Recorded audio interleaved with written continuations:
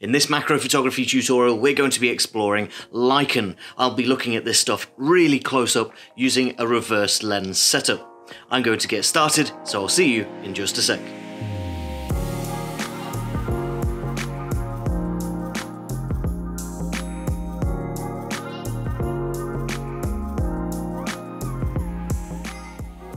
Hi guys, I'm Ben from Adaptalux and welcome to another macro photography tutorial where today we're taking a look at lichen. Now, uh, if you're not from a temperate climate uh, like we have here in the UK, you might not be too familiar with this stuff, but it's pretty common in our woodland. It grows on all sorts of branches and uh, rocks and things like that. Uh, it's actually a form of algae and fungus. There's lots of different organisms under uh, one sort of banner called uh, lichen. So I've brought a little stick in here with lots of lichen all over it. I'm going to grab my camera and just take an initial look at uh, the surface texture of this stuff because it's got some really interesting features.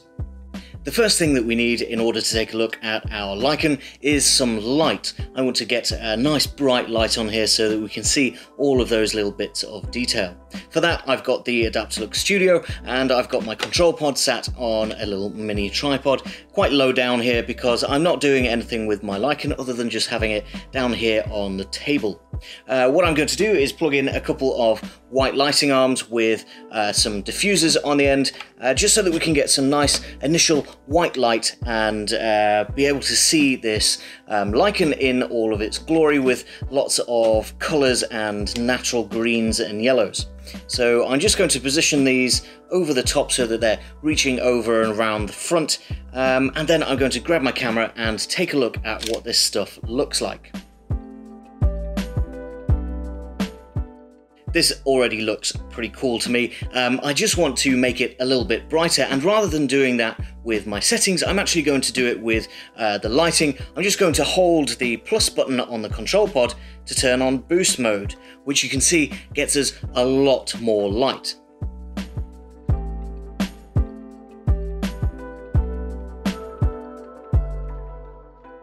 I can already tell this is going to be a really interesting shoot. We have got so many different colours and textures in this lichen that it's going to be an absolute joy to explore. Uh, there are going to be some challenges though. Uh, we've got uh, a very uh, detailed subject that has uh, a curve to it, so there's not a single uh, flat plane to focus on, which means our depth of field and our composition is going to be uh, pretty tricky and we might have to put some thought into how we want that to come out. Uh, we can either uh, roll with it and get some really soft focus images with only a few little bits of detail in focus, or we can try and eliminate our depth of field problem by photo stacking, taking multiple images and blending them together in Photoshop later on. So I might try a few different ones of both of those techniques, uh, but for now I'm going to change lenses and see how close we can actually get to this lichen and what kind of detail uh, that brings out. I've used a reverse lens setup before in one of our other videos to shoot moss. I'll link that video up here if you want to go and check out some really cool close-up images of moss and water drops. But for those of you that haven't seen um, a reverse lens setup before, I'm just going to very quickly run you through what we're actually doing here. It's a really cheap way to get really high magnification factors if you don't have a dedicated macro lens. Um, what we're actually doing is taking an old lens, uh, just a normal lens, a kit lens maybe, from uh, your camera uh, and reversing it onto the camera body. So I've got a 28mm um, lens here, which is nothing special. It's got um, manual focus. It's also got a manual aperture ring, so I can click open and close the aperture here. What we're going to do is take a reversing ring. So this is uh, just a ring with two threads on either side, um, and that means that I can screw this to the front of our lens and then screw something else to the front of that. That something else is going to be um, a set of extension tubes. So we have uh, a lot of extension possibilities here. This will uh, get us really, really close and get that high magnification factor. What I'm going to do is screw this to the front of our lens as well. And then on the back of that, I have an adapter so that it will mount to my Nikon. So now I can reverse mount this uh, attaching it to the camera this way round. It might look a little bit strange, but those adapters and uh, the reversing ring and extension tubes are very, very cheap, so it's a great way to get that high magnification if you can't afford a dedicated macro lens. Now, I'm going to be shooting on a tripod from now on because we are getting very, very close to our subject and we're going to get a little bit of camera shake if we don't try and keep the camera steady. So what I'm going to be doing is moving my subject around in front of the camera rather than moving the camera around the subject.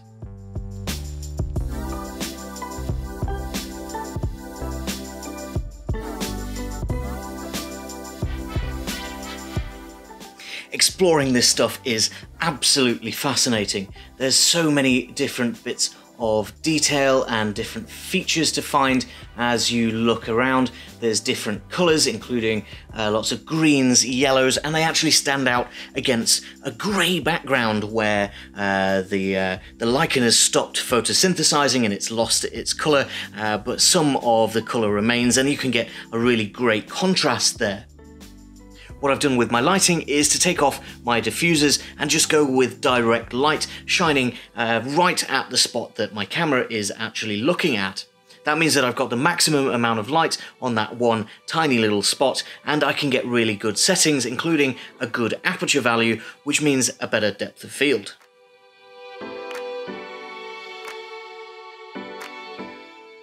I'm having a lot of fun exploring around my lichen, finding all of those interesting details and features, and creating almost alien landscapes out of the uh, fungal structures that are being um, built up out of this twig.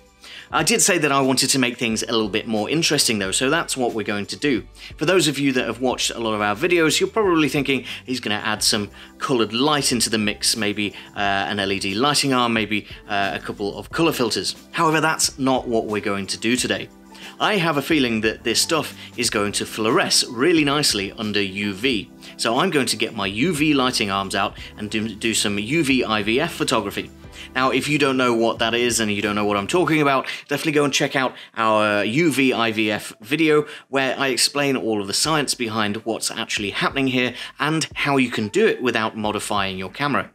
I'm going to go and uh, plug in some UV lighting arms, make the room a lot darker, and see what this stuff does when I subject it to some UV light. For my UV setup, I'm going to be shooting with both lenses so that we can get some wide shots and some close-up ones like the ones that we've already seen. I have, however, changed my two white lighting arms for UV lighting arms. These are going to make my, uh, my subject fluoresce when I turn out the lights and when I take a long exposure.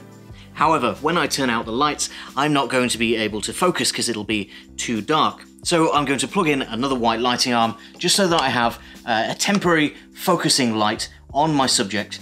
I can turn out the lights, focus and compose, and then unplug that white lighting arm or turn it off via the manual controls on the pod or turn it off using the app.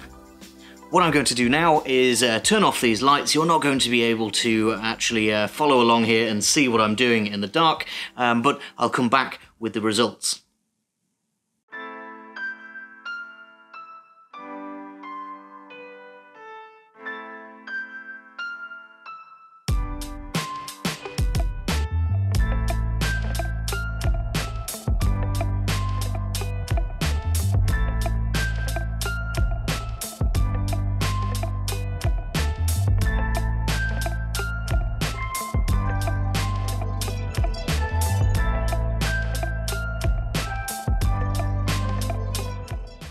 Turns out that lichen under UV is even more interesting and fascinating than I thought it would be. We've got lots of oranges and a few blues coming out depending on how um, dormant the stuff is. We've got lots of variation in colour and we still have all of those interesting techniques that we were using earlier on, uh, playing around with our um, depth of field and we can also still create shadows using the UV light. If you have some UV uh, lighting arms at home already, then definitely check out shooting lichen. It's one of the most interesting UV subjects that I've shot so far. If you want to see a little bit more UV photography, I'll link another video up here where we shot some lilies. That was a really interesting exploration into uh, the different colours that the natural world can create when we're talking about UV fluorescence. There are quite literally thousands of varieties of lichen that you can find pretty easily in uh, your local woodland, maybe even in your garden, just by looking around for rocks with this stuff growing on it. It grows quite often in bushes and trees as well on the bark. So uh, if you're shooting lichen, definitely let me know down in the comments and let me know how yours differs to mine, especially if you're shooting with UV lighting arms and uh, I want to know whether those colors that you get are different to mine and different uh, to different types of lichen. I've had a lot of fun shooting this stuff today, and if you've enjoyed watching the video, make sure to give it a like, and don't forget to subscribe for all of the new videos coming this year. For now though guys, thank you very much for watching, and I'll see you next time.